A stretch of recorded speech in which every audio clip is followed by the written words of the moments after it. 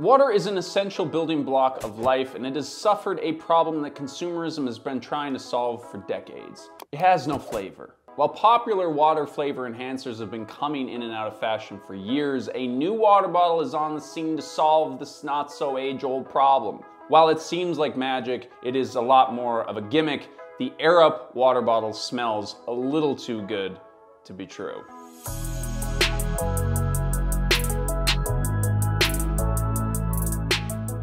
Now we are going to be in some delicate territory here with this video because chances are if you know of this water bottle already, it's because you saw it as a sponsored product on other YouTubers' videos. Now we aren't here to start any beef because like many of you, we like the creators that we know are using and promoting this product. The problem is, it's stupid. So we're going to be getting into the influencer marketing side of this company later. But for those of you who don't know what the hell is going on, the Air Up water bottle is a water bottle that flavors the water through air. Natural flavors are transported through your mouth to your nose and vice versa, and that's why, when your nose is stuffed up, things don't taste very good. The idea is also backed by neuroscience. Basically, smelling the flavor while you are drinking plain water tricks your brain into thinking that you are drinking flavored water. It's honestly kind of nifty. It's a, it's a sick idea.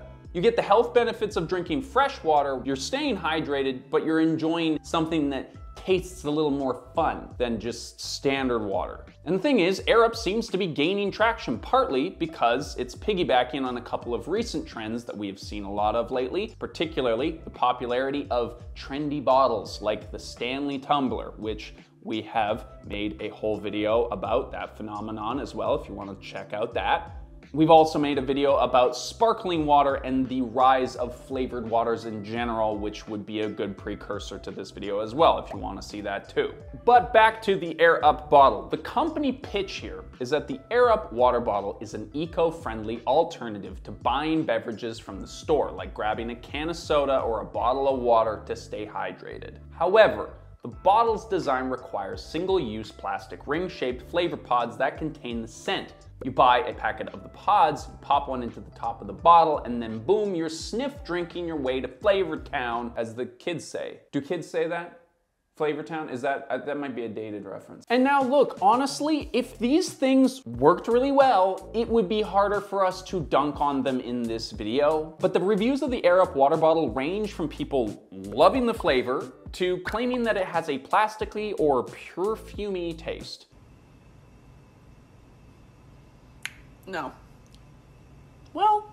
One review in Wired Magazine bluntly stated that you can easily recreate the Air Up experience by sipping some water while huffing a lemon-scented Glade plug-in, which sounds horrendous. And honestly, the part of this that really puts this thing on the hell no list for me is the price. A pack of three pods costs eight to $13, and that's only gonna last you 10 days. All right, listen, i know you're probably thinking, geez, we're, uh, we're not even halfway into this video, and we've already kind of poked holes in most of the arguments for this company. So why are people buying this thing?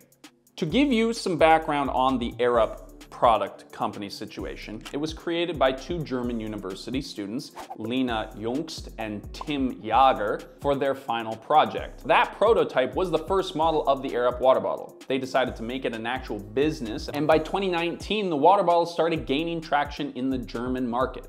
Since then, the AirUp has seen impressive growth, with these bottles being sold all over the world now. Except here in Canada, apparently, we cannot seem to buy an Air Up water bottle, which is part of the reason why we're not showing you the water bottle right now. Now, according to their website, you can see that the company was created to nudge people into a healthier and more sustainable consumption behavior pattern. It seems like at least a part of their success comes from their focus on sustainability and environmentally friendly practices, such as using recyclable materials in their products and partnering with environmental causes. And honestly, nowadays, buying is so complicated. I understand that for most consumers, you're just trying to buy something that's not gonna hurt someone or, or something in nature, you know? But sadly, the Air Up is pretty clearly just marketing. The main argument here is that the Air Up uses the fact that the Air Up pods use 88% less plastic than pre-filled and single-use drink containers. And 88% less is a lot of a percent less, right? Kind of.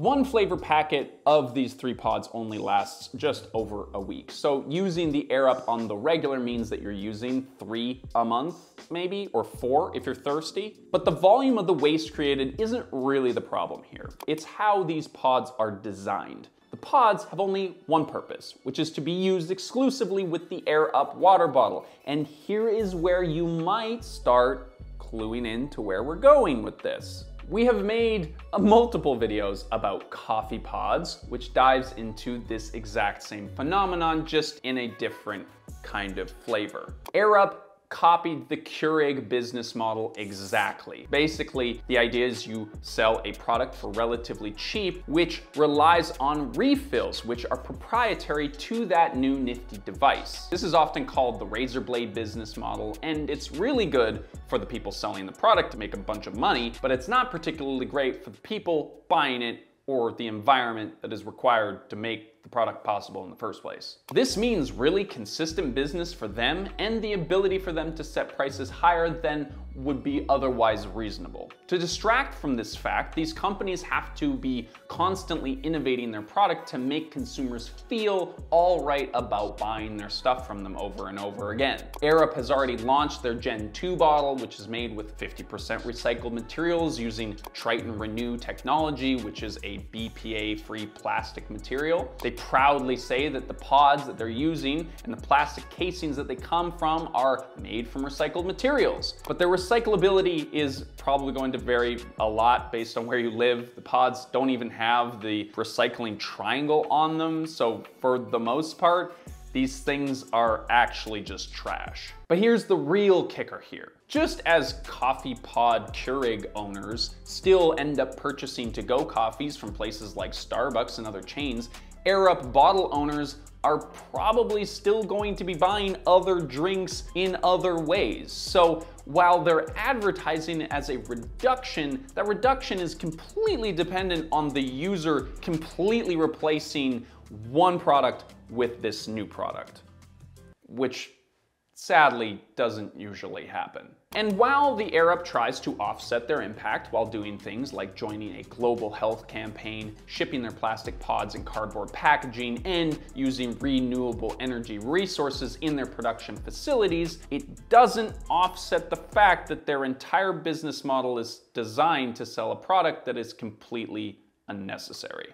No matter how environmentally friendly AirUp claims to be, the bottle can only function with a single-use plastic pod that you can only buy from them. And we've seen this process unfold in the coffee pod industry as well. Pods go from plastic to aluminum, from aluminum to compostable, and so on and so forth. But no matter the material or the disposal method, these products are still redundant and previously unnecessary.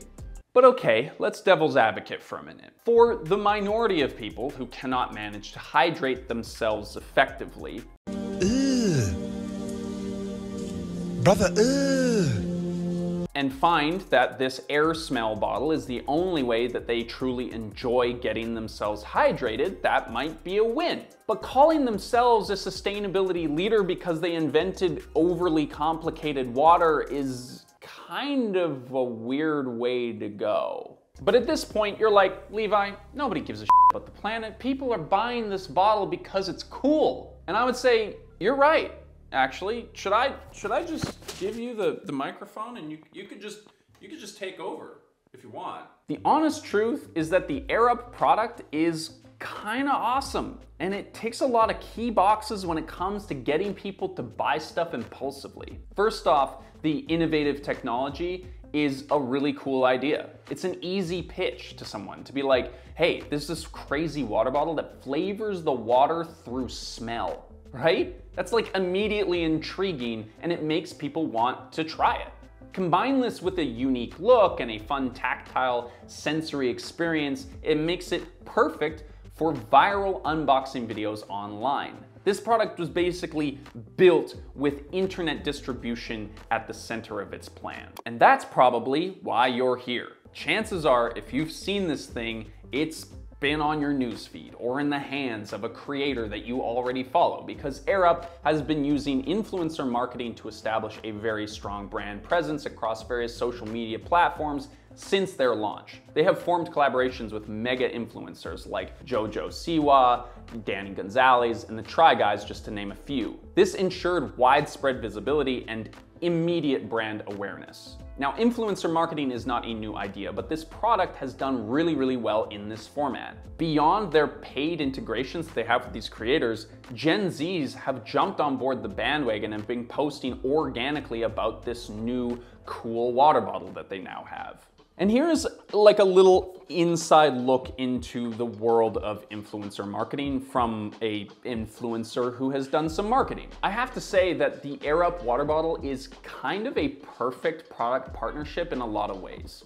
The product itself is interesting, so you don't have to manufacture any kind of false enthusiasm for a product that isn't really that cool. Just a clip of a creator trying out this crazy water bottle and reacting on camera is enough for an ad spot because it's a novel experience that the creator and the audience can have together. In an internet world where people are constantly aware that they're being sold something from every angle, the way that an advertisement is introduced to an audience is really important. As much as possible, creators want the ad to feel like it's just another part of the video, so it's entertaining, but also it has to be a product that their audience might actually be interested in buying. For example, here at Futureproof, we're very careful about the sponsors that we take on because as a channel that talks about and critiques consumerism, our audience is probably some of the most critical and engaged people when it comes to these kinds of advertisements. And in a lot of ways, that means that we've done our job, which is kind of awesome, but it has limited what we have had to do and what kind of brand sponsorships we've had to take. So we run very limited sponsorships and we rely on Patreon and the odd sticker drop to support our videos. But the honest truth is, we would have made a lot more money if we had just been sponsored by AirUp. But here's the thing, the AirUp water bottle will cost you more than a monthly streaming service to maintain.